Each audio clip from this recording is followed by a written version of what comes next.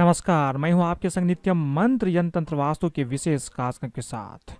गुप्त नवरात्रि और समान नवरात्रि में क्या है अंतर? गुप्त नवरात्रि का धार्मिक महत्व क्या है?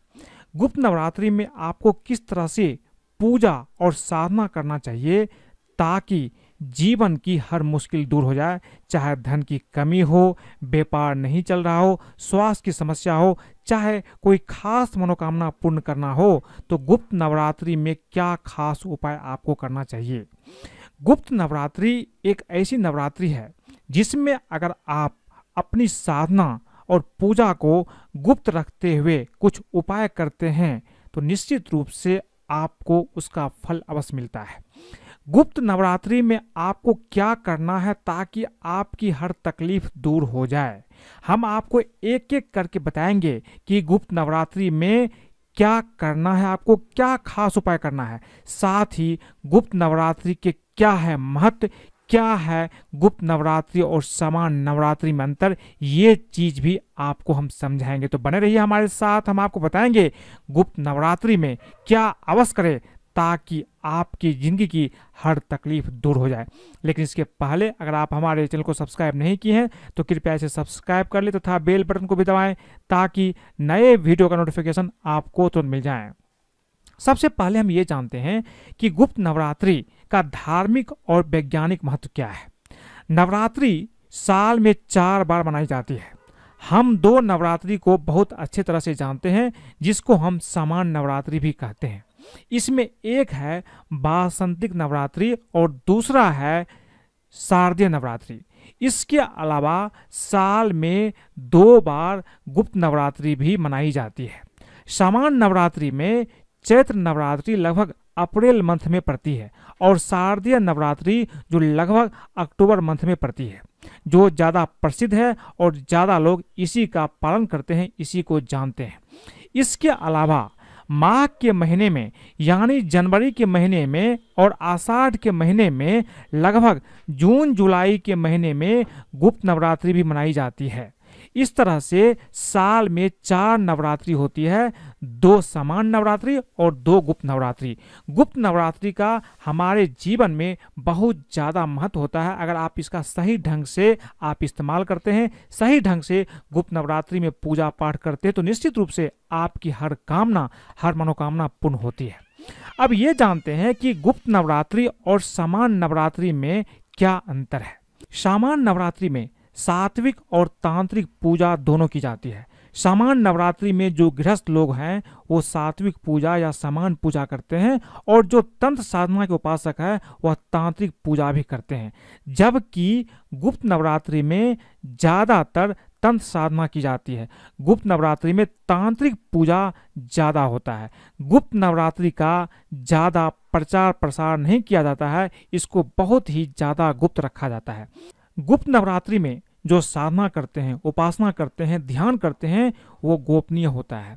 गुप्त नवरात्रि गोपनीय साधना के लिए ज़्यादा महत्वपूर्ण माना जाता है। गुप्त नवरात्रि में शक्ति प्राप्त की जाती है। गुप्त नवरात्रि में तंत्र साधना करके या समान साधना करके शक्ति प्राप्त की जाती है और बाधाओं के नाश के लिए वरदान मांगा जाता है। गुप्त नवरात्रि में आप जितनी गोपनीय साधना करेंगे, जितनी गहराई से साधना करेंगे, उसके प्रभाव, उसके परिणाम आपके लिए उतने ही ज़्यादा बेहतर होंगे।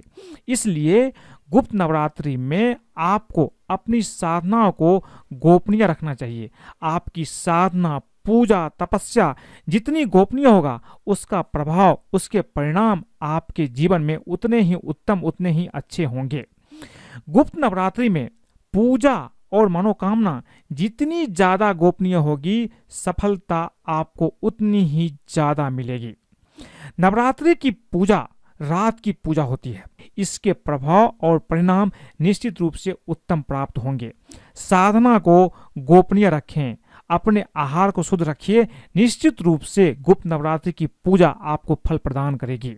इसलिए गुप्त नवरात्रि में दो बातों का ध्यान आप अवश्य रखिए। पहली चीज़, अपनी साधना को हमेशा गोपनीय रखें, इसका प्रचार प्रसार ना करें। किसी से ना बोले कि आप क्या कर रहे हैं। इसको गोपनीय रखना बहुत ही ज़्यादा महत्वपूर्ण है। दूसरा साधना अगर रात के समय आप करेंगे तो इसके प्रभाव आपके लिए बहुत ही ज़्यादा शुभ होंगे। रात को 11 से 1 बजे के बीच में अगर आपकी कोई मनोकामना है, धन की प्राप्ति करनी है, कोई भी मंत्र की साधना करना है, मंत्र की सिद्धि करनी है तो आपको रात के समय में ही इसे करना ज़्यादा उचित और ज़्यादा अच्छा होगा। अब जो सबसे महत्वपूर्ण बात है, गुप्त नवरात्रि में आपको क्या पूजा और क्या साधना करना चाहिए? देखिए, सबसे पहले गुप्त नवरात्रि में जब भी आप माँ दुर्गा की पूजा करते हैं, साधना करते हैं तो उसमें एक मंत्र का जाप आपको रोज करना चाहिए। ये मंत्र दुर्गा सप्तती का है और बहुत ही ज़्यादा शक्तिशाली है। सबसे पहले हम आपको मंत्र बताते हैं, ये मंत्र क्या है? मंत्र है, देही सौभाग्यम, आरोग्यम देही मे परमम सुखम, रूपम देही जयम देही यशो देही दुसो जही। ये मंत्र बहुत ही शक्तिशाली है और ये मंत्र दुर्गा सरस्वती से लिया गया है, जो कि एक तांत्रिक पुस्तक है। जब भी आप माँ दुर्गा की उपासना करते हैं, भगवती की साधना करते हैं तो उस उपासना की सबसे ज़्यादा शक्तिशाली मंत्र है ये। और इस मंत्र में वो सभी चीज़ें मांगी गई है। उन सभी चीज़ों की कामना की गई है, जिससे आपका जीवन बहुत ज़्यादा सुखी हो जाता है। इस मंत्र के माध्यम से देवी दुर्गा से सौभाग्य मांगा गया है, आरोग्य मांगा गया है, सुख मांगा गया है, रूप, विजय और यश मांगा गया है। और यह भी कहा गया है कि जो मन की बुरा विचार है, वो भी दूर हो जाए, और मन की जो कटुता है, वो भी दूर हो सके। इसलिए आपको गुप्त नवरात्रि में इस मंत्र का जब भी आपको मौका मिले, सुबह या शाम के समय एक सा आठ बार जप करें। अगर आप एक से आठ बार जप नहीं कर सकते तो कम से कम आप इसका सत्ताईस बार भी जप करें। निश्चित रूप से आपको इससे फल की प्राप्ति होगी और सारे जो भी सुख की प्राप्ति आप चाहते हैं, जीवन को सुखी करना चाहते हैं, इस मंत्र के जाप से आपका जीवन निश्चित रूप से सुखी हो जाता है। गुप्त नवरात्रि में माँ दुर्गा की पूजा दो विधि से की जाती है। पहला विधि है तंत्र की विधि और दूसरा है समान विधि, जैसा कि मैंने आपको पहले बताया है। गुप्त नवरात्रि में ज़्यादातर तंत्र की पूजा की जाती है। गुप्त नवरात्रि में भी कलश की स्थापना की जाती है। बिल्कुल वैसे ही कलश की स्थापना कर सकते हैं, जैसे कि आप समान नवरात्रि में करते हैं, चैत्र या वासंतिक नवरात्रि में करते हैं, उसी तरह से आप गुप्त नवरात्रि में भी कलश की स्थापना कर सकते हैं। इसलिए गुप्त नवरात्रि में भी नौ दिनों के लिए कलश की स्थापना की जा सकती है। अगर आपने कलश की स्थापना की है तो दोनों समय आपको मंत्र का जाप करना चाहिए। दोनों समय दुर्गा चालीसा या दुर्गा सप्तती का पाठ करना चाहिए यह आपके लिए बहुत ही अच्छा होगा अगर आपने कलश की स्थापना की है तो। अगर आप घर में कलश की स्थापना करेंगे तो एक दीपक अखंड रूप से जलता रहना चाहिए। इसके साथ दोनों समय पूजा उपासना की जाएगी। दोनों ही समय माँ दुर्गा की आरती भी की जाएगी। इस बात का ध्यान रखिए। अगर आपने घर में कलश की स्थापना की है तो इसका ध्यान आपको निश्चित रूप से रखना है। माँ की जब भी आप दोनों समय पूजा करेंगे तो दोनों समय माता को भोग भी अवश्य लगाएँगे। और ये चीज़ आपको कोई साधना में, कोई तंत्र सिद्धि में भी आपको ये भोग अवश्य लगाना है। जैसे आप रात को 11 से 1 बजे के बीच में कोई साधना करते हैं तो उस समय भी आपको ये चीज़ अवश्य करना है। सबसे सरल और उत्तम भोग होगा लौंग और बतासे का भोग। माँ देवी को लौंग और बतासा अर्पित करना बहुत ही ज़्यादा महत्वपूर्ण होता है। तो आप कुछ अर्पित करें ना करें, लौंग और बतासा देवी को हर दिन अर्पित करें पूजा के पहले सुबह शाम आप करें और रात को जब भी आप मंत्र सिद्धि या कोई साधना करते हैं तो उससे पहले भी आपको ये चीज़ अवश्य करना चाहिए। इसीलिए देवी को लौंग और बतासा हर दिन अवश्य अर्पित करें। ये काफ़ी ज़्यादा आपके लिए शुभ होगा। गुप्त नवरात्रि में हो या कोई अन्य नवरात्रि में भी आप लौंग, बतासा देवी को अवश्य अर्पित करें। माता की पूजा में उनको लाल फूल अवश्य अर्पित करना चाहिए, ये बहुत ही ज़्यादा शुभ होता है। लाल फूल अर्पित करना आपके लिए बहुत ज़्यादा शुभ रहेगा। कोई भी लाल फूल आप ले लीजिए, जो भी आपके पास लाल फूल हो, गुड़हल का फूल हो, ये ज़्यादा अच्छा रहेगा आपके लिए। पीला फूल भी आप अर्पित कर सकते हैं, लेकिन क्योंकि यह शक्ति की उपासना है, तंत्र की पूजा है, इसलिए लाल फूल अर्पित करके पूजा करना आपके लिए सबसे ज़्यादा शुभ रहेगा। माँ दुर्गा की पूजा में मदार और तुलसी का प्रयोग आपको बिल्कुल भी नहीं करना चाहिए। इस बात का भी आपको ध्यान रखना है। पूरे नौ दिन अपना खान पान और अपना आहार सात्विक रखिए तभी आपको पूजा का फल मिलेगा। अगर आपका आहार सात्विक नहीं होगा तो पूजा का कोई फल आपको प्राप्त नहीं होगा। लाल वस्त्र पहनकर रात के समय साधना करना आपके लिए बहुत ही अच्छा होगा।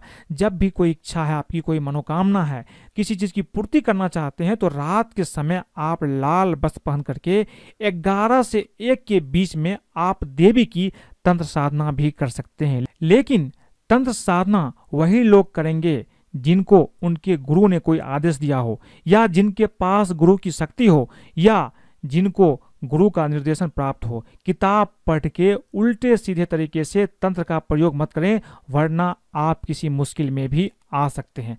अगर आप तंत्र साधना नहीं जानते हैं या किसी गुरु ने आपको कोई तंत्र साधना नहीं बताई है तो आप अपने मन से तंत्र साधना की किताब पढ़ के तंत्र साधना का प्रयास ना करें। आप सामान्य पूजा ही गुप्त नवरात्रि में करेंगे, तभी आपके लिए अच्छा होगा। उल्टी सीधी हरकत आप किताब पढ़ के ना करें। कोई गुरु ने आपको आदेश दिया है, उसने दीक्षा दी है, तब आप तंत्र साधना कर सकते हैं।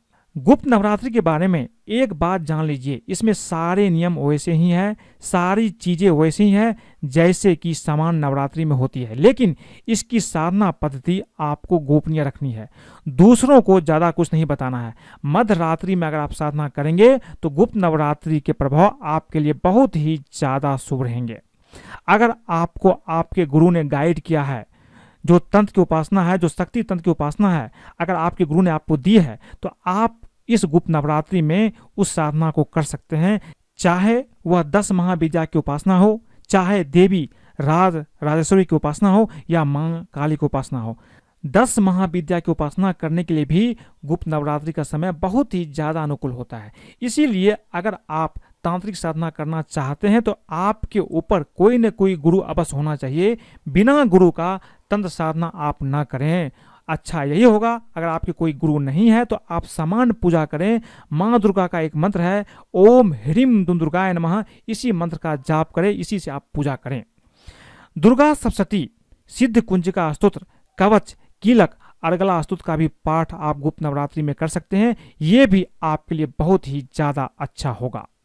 दुर्गा सप्तती तंत्र की एक पुस्तक है, जिसके अंदर मारन, मोहन उच्चाटन, स्तंभन विद्वेषण सारी शक्तियाँ पाई जाती है।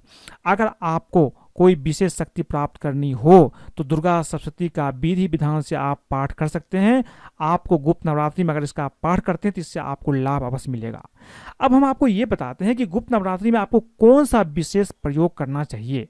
सबसे पहले हम ये जानते हैं कि अगर आपको रोज़गार की प्राप्ति करनी है, व्यवसाय जल्दी शुरू हो जाए, या आपको बढ़िया नौकरी मिल जाए तो इसके लिए आपको क्या उपाय करना चाहिए? देखिए, अगर आप चाहते हैं कि आपकी व्यवसाय अच्छी चले, उसकी शुरुआत हो जाए, रोज़गार की प्राप्ति हो जाए, नौकरी की व्यवस्था हो जाए तो गुप्त नवरात्रि में किसी भी रात को ग्यारह से एक के बीच में देवी के सामने घी का दीपक जला लें। अब नौ बतासे ले लें। हर बतासे पर दो लौंग रखें। लौंग टूटी हुई नहीं होनी चाहिए, इसका आपको ध्यान रखना है।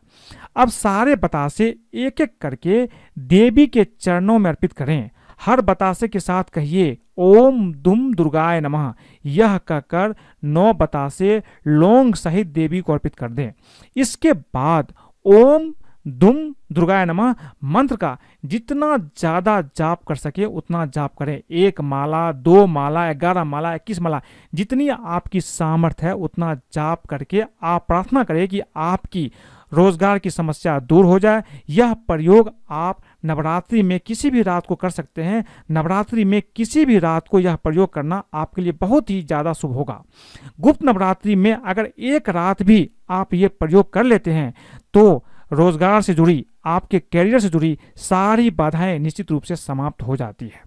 अब दूसरी चीज़ है, अगर आपका विवाह नहीं हो पा रहा है, खास तौर से आप महिला है और विवाह होने में कोई दिक्कत आ रही है तो आपको गुप्त नवरात्रि में क्या करना चाहिए? इसके लिए आपको देवी के सामने रोज एक घी का दीपक जलाएँ।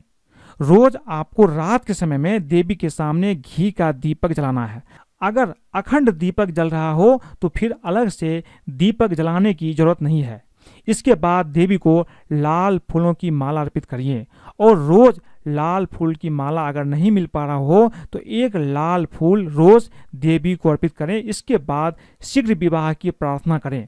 यह प्रयोग गुप्त नवरात्रि में हर रात को करना है।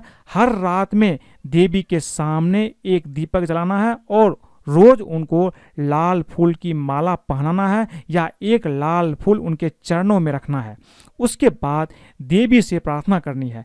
आपका विवाह जल्द से जल्द हो जाएगा। गुप्त नवरात्रि में जितनी भी रात आपको यह प्रयोग कर सके, उतनी रात करें। नौ के नौ रात आप कर सकते हैं, नहीं तो कम से कम आपको तीन दिन तीन रात ये प्रयोग अवश्य ही करना चाहिए। इससे आपकी विवाह में जो भी समस्या आ रही है वो समस्या दूर हो जाएगी। गुप्त नवरात्रि में अगर आपको कोई विशेष मनोकामना पूरी करनी है तो आप इसके लिए क्या करें? सबसे पहली चीज़ आपको क्या करना है कि अपनी उम्र के बराबर लौंग ले लें या एक से आठ लौंग भी ले सकते हैं। अगर आपकी उम्र के बराबर आप लौंग लेना नहीं चाहते हैं तो आप एक से आठ लौंग ले, ले सकते हैं। लाल धागे में इस लौंग को बाँध करके आप एक माला बना लें।